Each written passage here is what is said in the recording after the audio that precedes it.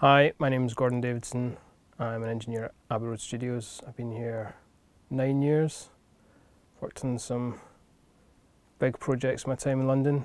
I've worked on the Hobbit movie, James Bond, Spectre. I've worked with artists like Paul McCartney and Ian Brown and will.i.am. And the guys have brought us a track today that we're gonna we're gonna mix. It's a little rock track. We're gonna see see what we can get out of it.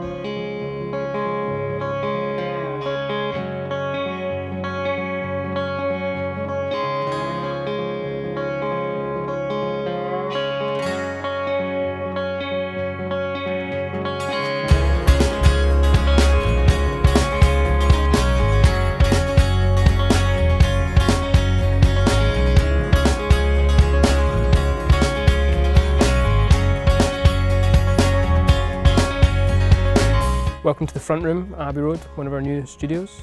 Um, it's based around a 24 channel Duality SSL and Pro Tools HDX2 with Apogee interfaces. Um, we've got a nice little rack of outboard here. We've got a bunch of 500 series preamps and a couple of EQs. Uh, we've got some warm audio, some Chandler, API and loop trotter. Uh, we've got the Manley Massive Passive mastering EQ for the final final polish. Got a Bricasti M7 reverb, which is kind of the premier hardware reverb these days. Uh, we've got an old Lexicon reverb for that sort of 90s sound. We've got an Empirical Labs distressor down there, a compressor, which is one of the most versatile compressors there is. You can make it sound really slow and sloppy and old, or really fast and snappy and distorted. It's great a Neve 33609 bus compressor. Run it in stereo or mono. Classic Neve sound.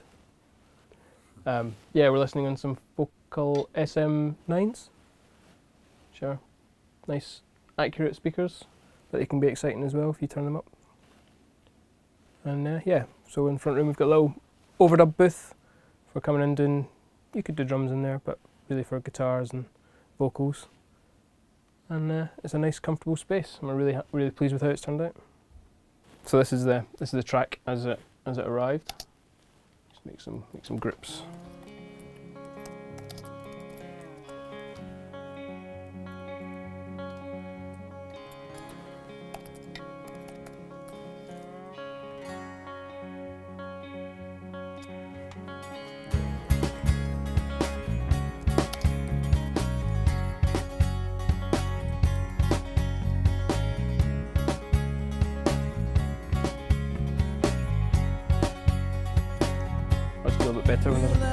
Colours. Grey's a bit dull.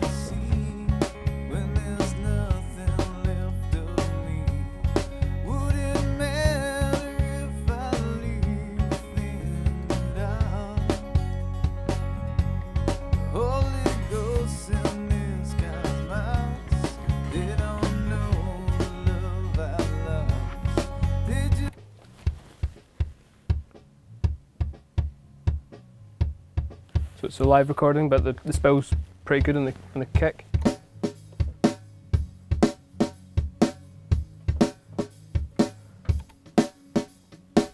And the snare.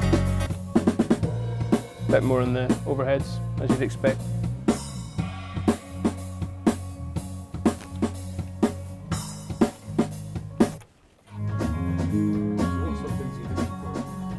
At the moment I'm just listening to what, at the moment I'm really listening to what spills on each mic to see if I compress it, how that's going to be affected, or if there's a frequency that I think that I could grab to make something more exciting. Sounds like a bass. I guess DI'd or boothed. Choose Pro Tools.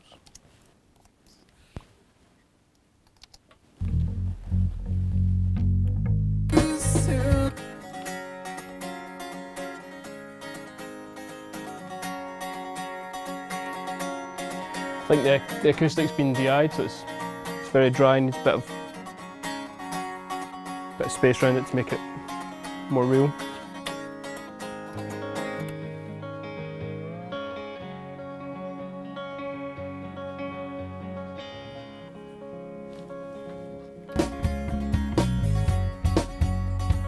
So I've done some basic panning already, spread the overheads wide, um, put the acoustic off to the left, the lap steel to the right. Got some more guitars at the end that I've spread out left and right. Vocals down the middle.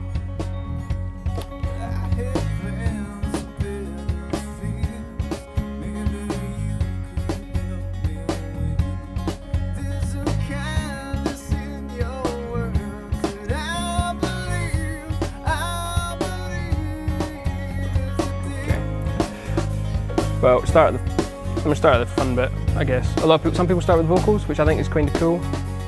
But I'm gonna start with the drums because I think most people start with the drums.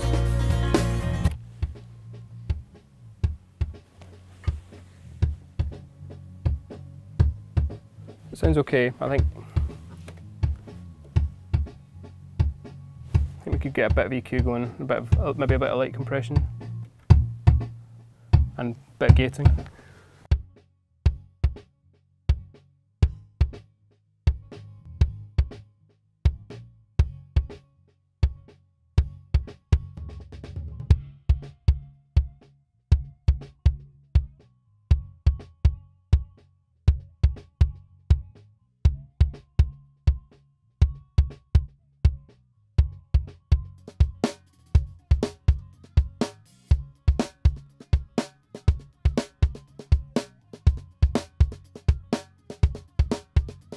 So yeah, I've fattened up the bottom a little bit, done a little boost at like 80, taken out a little bit around 350, a bit of boxiness.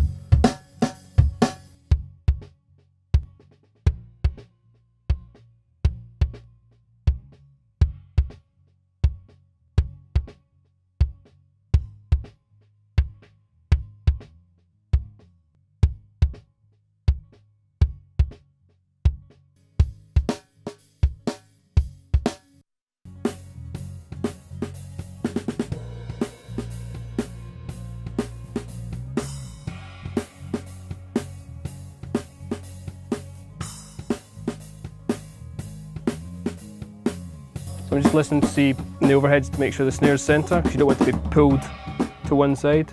Sometimes people move the overhead different equal distance away from the snare, so that the snare's right in the middle, which I get, but I, I prefer to do it personally with gain to match the levels, because you, you, if the levels are the same when the snare hits, then it's in the middle.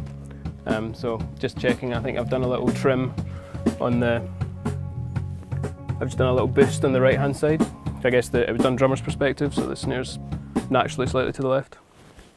So I'll put the EQ in, start flat,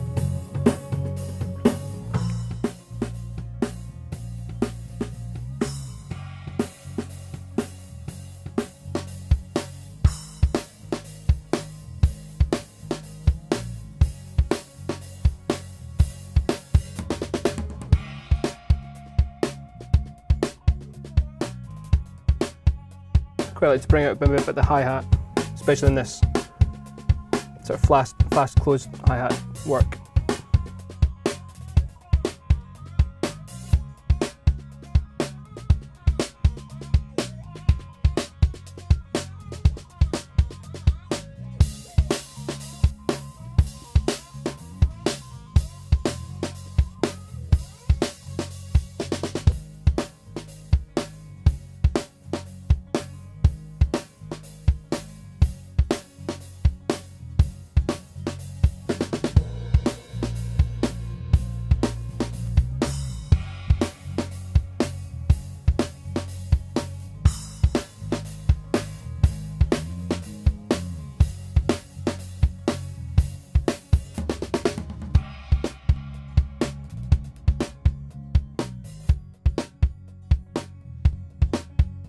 Okay, so it's a little brighter, a little bit more exciting now.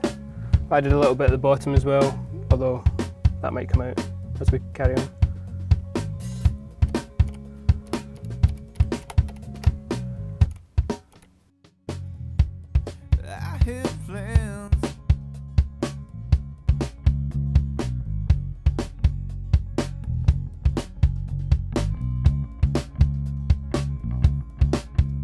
So I've got this Neve 33609 compressor, which I'm going to insert across the overheads. I've kind of I preset it uh, to about 4 dB of gain reduction, and the the recovery is fast enough that it's kind of getting mostly back down between between the hits of the kick and the snare. So it pumps a little.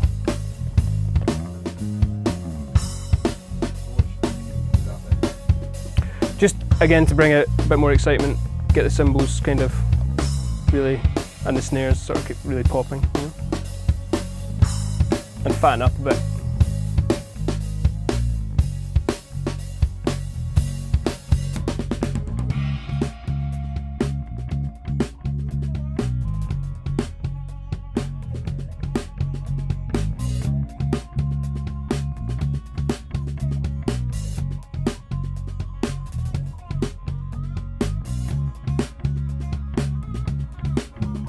A little brighter with, I've put a bit of EQ on as well, but it's a little brighter with the compressor in.